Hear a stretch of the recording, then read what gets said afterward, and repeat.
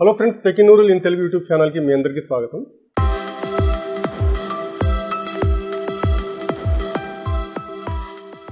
So friends మీ అందరికీ తెలుసు మీ TV ఒక బ్లూటూత్ రిమోట్తో వస్తుంది. సో మీ టీవీని కంట్రోల్ చేయడానికి మనం ఈ ఫిజికల్ రిమోట్తో పాటు మనం మన మొబైల్ను కూడా వాడవచ్చు. సో దానికోసం మనం మన మొబైల్లో మీ రిమోట్ యాప్ని ఇన్స్టాల్ చేసుకోవాల్సి ఉంటుంది. సో బేసికల్లీ మీ రిమోట్ యాప్ వచ్చేటప్పటికి టూ టైప్స్ ఆఫ్ రిమోట్స్ని సపోర్ట్ చేస్తుంది. ఫస్ట్ వచ్చేటప్పటికి ఐఆర్ రిమోట్ అంటే రెగ్యులర్గా మనం వాడేటటువంటి రిమోట్. సెకండ్ వచ్చేసేటప్పటికి వైఫై రిమోట్ సో ఈ వీడియోలో మనం ఎంఐ రిమోట్ యాప్ని వాడి వైఫై రిమోట్ని ఎలా యాడ్ చేయాలి అలాగే ఆ వైఫై రిమోట్ని వాడి టీవీని ఎలా కంట్రోల్ చేయాలనేటువంటిది చూద్దాం. అలాగే అడిషనల్ ఫంక్షనాలిటీస్ గురించి కూడా తెలుసుకుందాం. సో ఇది వైఫై రిమోట్ కాబట్టి ఏ ఫోన్లో అయినా సరే ఇన్స్టాల్ చేసుకోవచ్చు.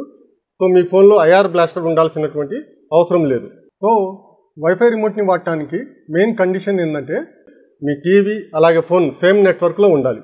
సో అదొక మెయిన్ కండిషన్ అదొకటి గుర్తుపెట్టుకోండి. నెక్స్ట్ మనం టీవీ స్క్రీన్ మీదకి వెళ్దాం. సో మీ రిమోట్ యాప్ని మనం ప్లే స్టోర్ నుంచి డౌన్లోడ్ చేసుకోవాల్సి ఉంటుంది. ఒకవేళ ఆల్రెడీ ఇన్స్టాల్ అయి ఉంటే ప్రాబ్లం లేదు. ప్లే స్టోర్ని ఓపెన్ చేసిన తర్వాత మీ రిమోట్ అని చెప్పేసి టైప్ చేయాల్సి ఉంటుంది.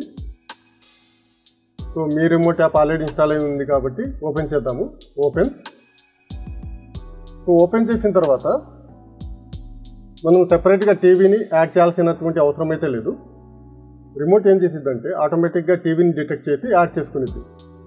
సో ఇక్కడ చూడండి ఆటోమేటిక్గా టీవీని డిటెక్ట్ చేసి టీవీని యాడ్ చేసింది. సో యాడ్ చేసింది కాబట్టి ఓపెన్ చేద్దాం రిమోట్ని. ఓపెన్.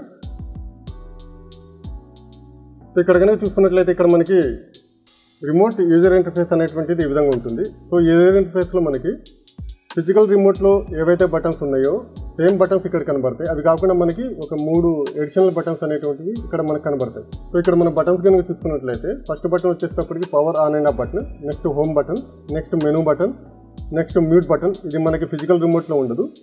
ఓన్లీ వైఫై రిమోట్లో మాత్రం కనబడుతుంది. నెక్స్ట్ వచ్చేటప్పటికి యాప్స్ బటన్ దీని గురించి మనం తర్వాత మాట్లాడుకుందాం. నెక్స్ట్ స్క్రీన్ షాట్ బటన్ దీని బట్టి మనం టీవీ స్క్రీన్ షాట్ని తీసుకోవచ్చు. సో సెంట్రల్లో కనుక చూసుకున్నట్లయితే ఇక్కడ మనకి నావిగేషన్ బటన్స్ అనేటువంటివి కనబడతాయి. Up and down right and left అలాగే ఓకే ఈ నావిగేషన్ బటన్స్ అనేటువంటివి కనబడతాయి. నెక్స్ట్ అలాగే volume up and down buttons next return button ఈ బటన్స్ అనేటువంటివి మనకి వైఫై రిమోట్ మీద కనబడతాయి. సో నావిగేషన్ బటన్స్ని వాడి మనం ఏంటంటే టీవీలో మనం నావిగేషన్ అనేటువంటిది చేయొచ్చు. సో ఇక్కడ నేను డౌన్ నావిగేషన్ బటన్ని ప్రెస్ చేస్తున్నాను. అలాగే అప్ నావిగేషన్ బటన్ అలాగే రైట్ నావిగేషన్ బటన్ అలాగే లెఫ్ట్ నావిగేషన్ బటన్ సో ఈ నావిగేషన్ బటన్స్ని మనం వాడుకోవచ్చు. అలాగే మనం ఏదైనా యాప్ని సెలెక్ట్ చేసుకుని ఓపెన్ కూడా చేయొచ్చు. యూట్యూబ్ని సెలెక్ట్ చేసి ఓకే బటన్ ప్రెస్ చేస్తున్నాను. యూట్యూబ్ ఓపెన్ అయిపోయింది. సో ఇక్కడ కూడా మనం నావిగేషన్ బటన్స్ అనేటువంటివి వాడవచ్చు సో అలాగే వీడియో కూడా ఓపెన్ చేయొచ్చు. సెలెక్ట్ చేసి వీడియోని ఓపెన్ చేస్తున్నాను. సో ఇప్పుడు మనం మ్యూట్ బటన్ని చెక్ చేద్దాము.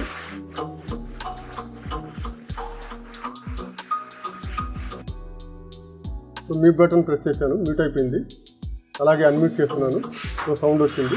సో ఈ విధంగా ఏంటంటే మనం మ్యూట్ బటన్ని వాడవచ్చు. స్క్రీన్ షాట్ ఈ స్క్రీన్ షాట్ బటన్ని వాడి మనం టీవీ స్క్రీన్ షాట్ని తీసుకోవచ్చు. సో ఇక్కడ చూడొచ్చు మీరు. టీవీ స్క్రీన్ షాట్ అనేటువంటిది వచ్చింది. నెక్స్ట్ అలాగే మెనూ బటన్ని కనుక ప్రెస్ చేసినట్లయితే ఈ విధంగా మెనూ అనేటువంటిది వస్తుంది. ఇక్కడ కూడా మనం నావిగేషన్ బటన్స్ని వాడి మెనూలో నావిగేట్ చేయొచ్చు. సో ఈ విధంగా ఏంటంటే మనం నావిగేషన్ బటన్స్ని వాడి టీవీని ఆపరేట్ చేయొచ్చు. నెక్స్ట్ అలాగే volume up and down buttons so ఇక్కడ చూడండి మీరు వాల్యూమ్ అప్ అండ్ డౌన్ అనేటువంటిది అవుతుంది. సో ఇవన్నీ నేను మొబైల్ని వాడి చేస్తున్నాను.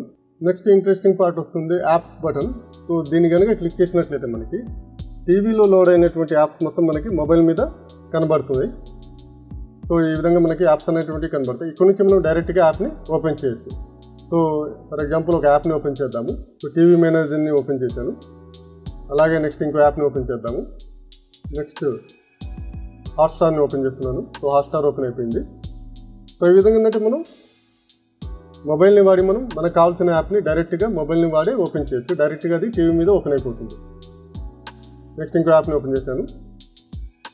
సో ఈ ఫంక్షనాలిటీ చాలా ఈజీగా ఉంటుంది. మొబైల్ని ఆపరేట్ చేసి మీరు డైరెక్ట్గా ఏ యాప్ని కావాలంటే యాప్ని ఓపెన్ చేసుకోవచ్చు. నెక్స్ట్ వచ్చేటప్పటికి మనం మొబైల్ని హార్జాంటల్గా కనుక ఫ్లిప్ చేసినట్లయితే టీవీ స్క్రీన్ అనేటువంటిది మనకి మొబైల్ మీద కనబడుతుంది. అంటే రిప్లికేట్ అవుతుంది. సో ఇప్పుడు మనం మొబైల్లోంచి డైరెక్ట్గా టీవీ స్క్రీన్ని నావిగేట్ చేయొచ్చు. సో ఇక్కడ కనుక మీరు చూస్తున్నట్లయితే నేను మొబైల్ని వాడి టీవీ స్క్రీన్ని నావిగేట్ చేస్తున్నాను. అలాగే మనకు కావాల్సిన యాప్ని సెలెక్ట్ చేసి ఓపెన్ చేయొచ్చు. నెక్స్ట్ క్రోమ్ బ్రౌజర్ని ఓపెన్ చేస్తున్నాను. ఓపెన్ చేశాను. సో ఓపెన్ చేసిన తర్వాత ఇక్కడ మనం డైరెక్ట్గా మొబైల్ మీద కీబోర్డ్ని వాడి టైప్ చేయొచ్చు. ఇక్కడ కనుక మీరు చూస్తున్నట్లయితే డైరెక్ట్గా నేను మొబైల్ మీద టైప్ చేస్తుంటే టీవీలో కూడా టైప్ అవుతుంది. సో ఇది చాలా ఈజీ ప్రొసీజర్ దీనివల్ల ఏంటంటే మనకి సెపరేట్గా కీబోర్డ్ మౌస్ అనేటువంటివి ఉండాల్సినటువంటి అవసరం లేదు. డైరెక్ట్గా మొబైల్ని వాడి మీరు టీవీని కంట్రోల్ చేయొచ్చు. సో ఈ విధంగా మనం కీబోర్డ్ని కూడా వాడుకోవచ్చు మొబైల్లో నెక్స్ట్ ఈ వైఫై రిమోట్లో అడిషనల్ ఫంక్షనాలిటీ ఏంటంటే గేమ్ ప్యాడ్ సో సెట్టింగ్స్లో కనుక వెళ్ళి చూసినట్లయితే ఇక్కడ మన గేమ్ ప్యాడ్ అనేటువంటిది ఓపెన్ అవుతుంది. సో ఈ గేమ్ ప్యాడ్ అనేటువంటిది ఈ విధంగా ఉంటుంది. సో ఈ గేమ్ ప్యాడ్ని వాడి మనం టీవీ మీద గేమ్స్ని అయితే ప్లే చేసుకోవచ్చు. సో ప్రజెంట్లీ నా టీవీలో గేమ్స్ అయితే ఏమీ ఇన్స్టాల్ అయ్యలేదు. సో దానివల్ల నేను మీకు డెమో ఇవ్వలేకపోతున్నాను. సో ఈ గేమ్ ప్యాడ్ని వాడి మీరు డైరెక్ట్గా గేమ్స్ అనేటువంటివి టీవీ మీద ప్లే చేసుకోవచ్చు.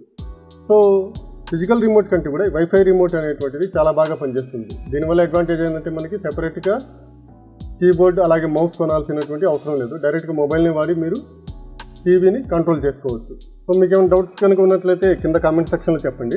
సో వీడియో కనుక నచ్చినట్లయితే లైక్ చేయండి షేర్ చేయండి. అలాగే ఇలాంటి ఇంట్రెస్టింగ్ టెక్నికల్ వీడియోస్ కోసం మా ఛానల్ని తప్పకుండా సబ్స్క్రైబ్ చేయండి. వీడియో చూసినందుకు చాలా థ్యాంక్స్ మళ్ళీ కలుద్దాం నెక్స్ట్ వీడియోలో థ్యాంక్ యూ